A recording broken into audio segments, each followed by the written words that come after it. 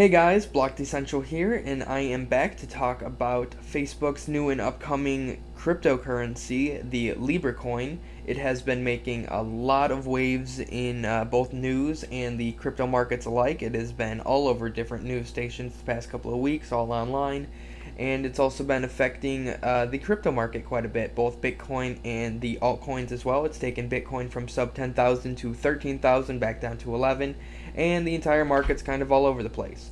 So we are going to talk about a little bit, get a little bit in depth, and just kind of uh, let you know what's up with Facebook's Libra coin.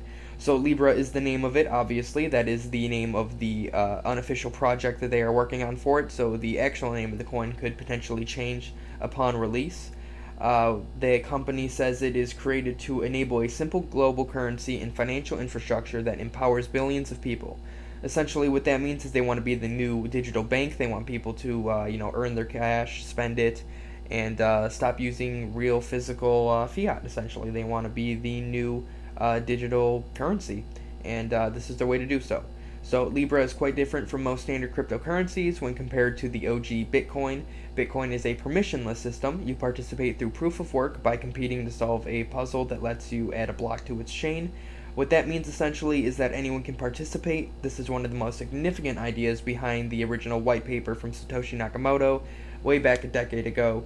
Uh, Bitcoin requires consensus, not trust, where Libra, by contrast, is a permission system, meaning that only a few trusted entities can keep track of the ledger, and that makes it more of a digital currency rather than a cryptocurrency because there is a central government or authority that has control over the currency, kind of like uh, you know, with any standard fiat like the USD or Euro or any regular currency out there, except this one is obviously digital. Unlike most stablecoins, however, Libra isn't pegged to one specific currency. Libra is pegged to a group of low volatility assets, including bank deposits and government securities, in multiple currencies. While there is uh, Libra reserve, Libra doesn't seem like it is necessarily pegged to its value. Rather, the reserve functions as kind of a lower bound on the Libra's value. So I'm assuming it's going to more or less fluctuate depending on the price of, you know, fiat. So it's going to be pegged to the regular price of like a dollar, you know, one dollar, one uh, Libra coin, something like that. Uh, might, you know, go up a little bit, might go down a little bit, considering it's going to be pegged to other things as well. However, it's going to be relatively stable so that way people can use it as just a regular digital currency. They don't have to worry about price fluctuations and all that.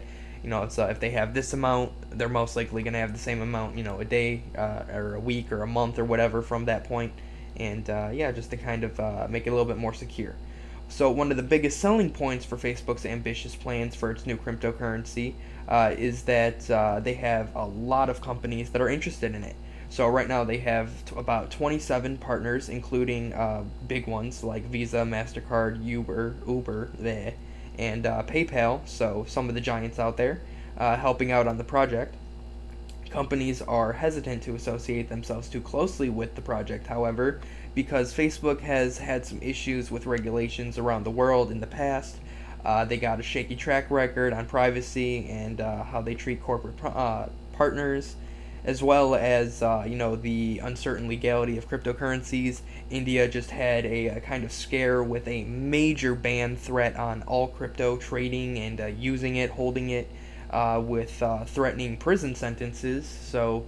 Uh, if that were to have been, you know, applied and then be affected or uh, be applied to Facebook's Libra coin, then you know all of India would be unable to use their coin, and I'm sure that'd be a huge chunk of market that they're trying to get at, and so uh, issues like that is something that they have to worry about, as well as you know as they were saying with uh, privacy, uh, how this plans to be incorporated into to the uh, Facebook platform itself.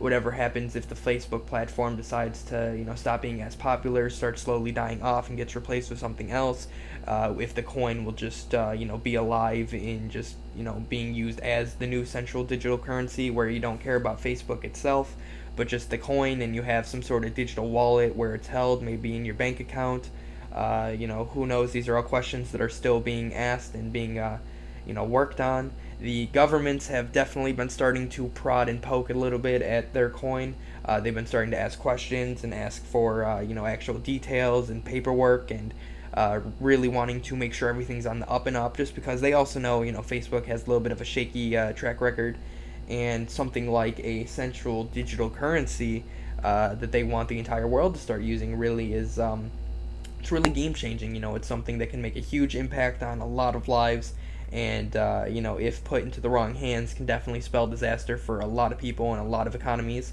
So that's something that uh, you know they're definitely careful of.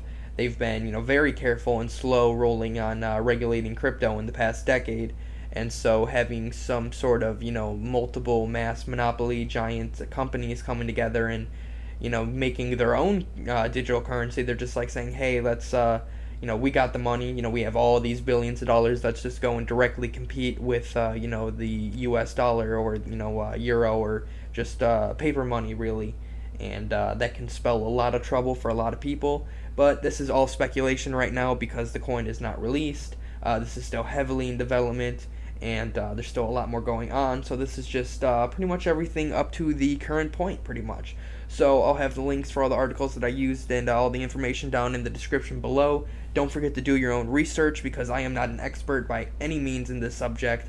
Uh, this is just something I personally did a little bit of research on, so my facts could be completely off or they could be completely right. You know, I can't say anything for certain, except this is what I am currently aware of.